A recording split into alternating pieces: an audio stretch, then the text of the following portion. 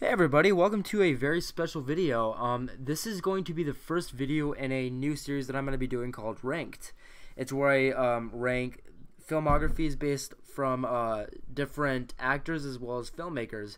So um, I do have uh, an M. Night Shyamalan that I'm almost done with, uh, as well as uh, a Adam Sandler one, which will, which is going to take some time to do.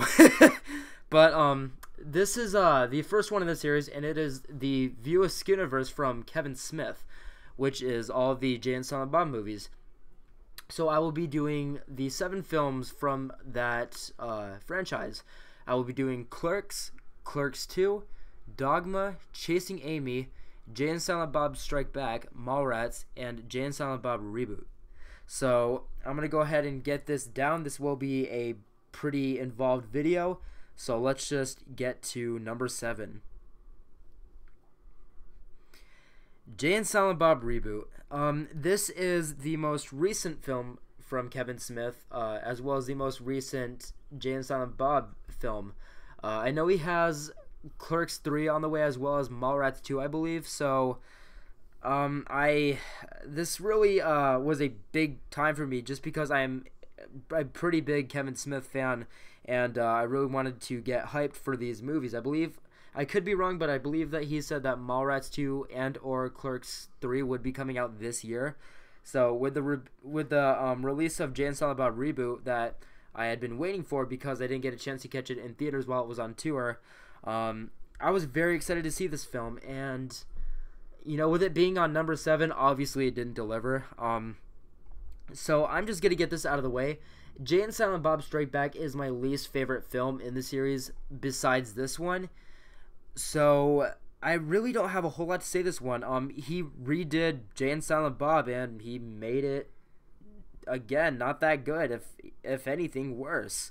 Um there were some things that I really liked about this film. Uh there is a big uh thing on uh Jason Mewes Jay character about his maturity and his character development that I really thought was you know, a pretty pretty satisfying and positive feel. It was very pleasant to see him uh, go through this kind of area in his character's life, and I really liked the overall factor that it was uh, touching up on. But this again really didn't bring anything new. I know that that was kind of the that was kind of addressed upon release with this film, but I expected that I would at least bring us something that you know, was really worth the wait, and it, it really didn't do all that. Overall, I'm gonna give Jay Silent Bob reboot a three.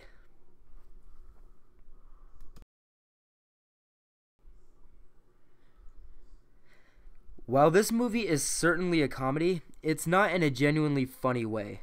It's got its moments, but altogether, Jay and Silent Bob Strikes Back doesn't come near whatsoever to recapturing the magic Kevin Smith had once brought with Clerks.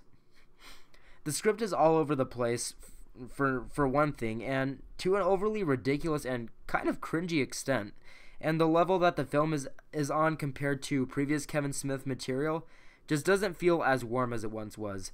Although I will say this, while it still isn't quite the Silent Bob that fully delivers, there is still a lot of fun with that character in the movie, and the movie still offers fun surprises to give an extra boost keeping up with the film.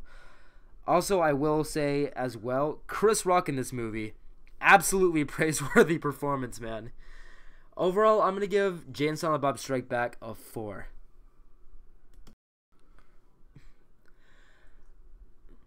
Mallrats has its moments, but not nearly as much as its predecessors. Also, the kid is back on the escalator again! I'm to give Mallrats a 5.5.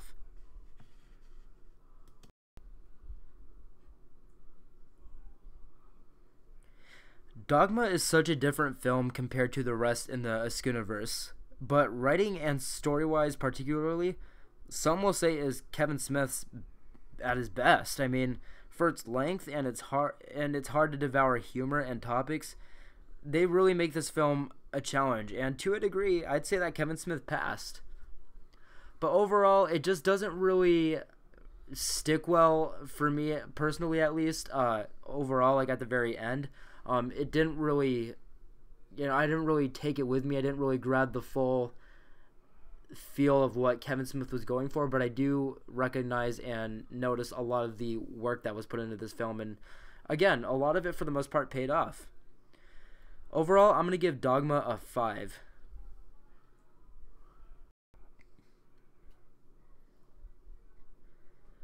Clerks 2 offers the lovable Dante Hicks and Randall Graves duo with solid signature Kevin Smith flair and a nice attempt at a warm comedy story, but ultimately doesn't capture the magic that got its predecessor to the level it did.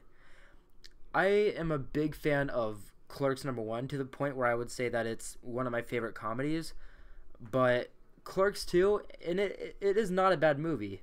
It is very actually pretty damn good. It just didn't I, I, I just don't think that it's quite one that I would recommend, but it did for the most part, you know, get get everything right as far as being a fresh film and everything. Uh, I really am rooting for Clerks 3. It has kind of been in development hell for a while. So just watching Clerks 1 to Clerks 2 and the passion put into particularly uh, Dante Hicks and Randall Graves' characters and their chemistry I, I really hope that Kevin Smith can pull this off. It has been a while since the last Clerks movie, and there was quite a gap as well between the first and the second. So he could pull this off, or he could not. But I really think that this could be what what uh, Kevin Smith is using as a comeback film, and I really hope again that he pulls it off. I'm very excited for the third movie, and overall, I'm gonna give Clerks two a six.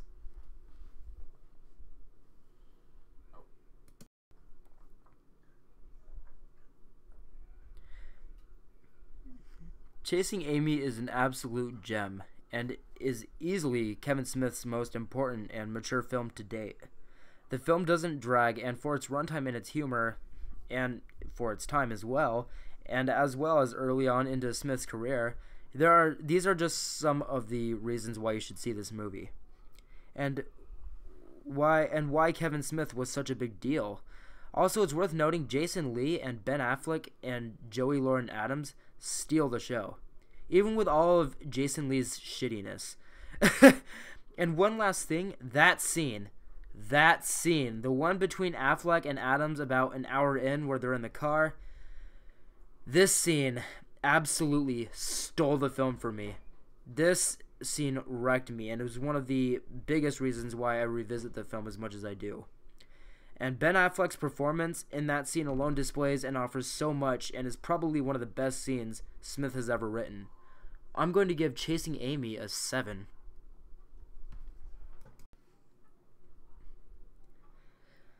Kevin Smith's Clerks. This is one of my favorite comedies of all time, as well as my favorite Kevin Smith movie, period. The movie is already, without a doubt, a great film, but with having that kind of personal experience in working retail, this movie definitely goes beyond what it could with, I mean, with, with, with me as a regular viewer. Um, the amount of reality and cynical kind of humor that is put into this film is enough to, again, really make it a fucking cult film. I mean, this is so much different than your average comedy, and especially your average kind of indie film. I believe Kevin Smith was 23, 24, something like that when he made this film, and he was actually working that job. And that just makes it so much more important, more precious, because, again, it's not that it's like a real story, it's just this is his life, this is what he does. And he knew exactly what he was going for, and there was a reason why this is one of his first films and why he put so much work into it as, you know, a filmmaker on the rise. This movie is an absolute classic, and I give Clerks an 8. Everybody, thank you so much for checking out this video. Um, this was a video that I've been planning to do for quite a bit, as well as many others in the ranked series that I'm going to be putting out in the future. Um, let me know who else you want me to uh, to do this with. Um, I know again that I am working on M Night Shyamalan as well as Adam Sandler. I have a few others that will come further on that I haven't even started with yet, but um, let me know what you guys would like to see. Um, I hope you guys really enjoyed this this uh, series. Uh, Kevin Smith has a lot of great films. He has a lot of good signature flair, and I really am excited to see films such as Clerks 3 and Mallrats 2, giving that they do get, you know, made and everything. Um, definitely check out Clerks, the Clerks films, as well as Chasing Amy. Those are, in my opinion, his best movies. But I mean, really, besides Jay and Silent Bob reboot, his films in the in this franchise are are are, are okay. You know, they have they all have plenty that they, you know, show and that they that they are unique for. But yeah, let me let me know what uh, what your guys' lists are, what you guys think about these films, and where they stand with your guys' opinion. I hope that you guys made it to the end of this video, and if you did, I really appreciate it. Um, let me know again what videos you would like me to do next. Well, this has been my first video in the Rank series, and I hope you guys have a great day. This video was a lot of fun to do, and I look forward to making more for you guys. Take care.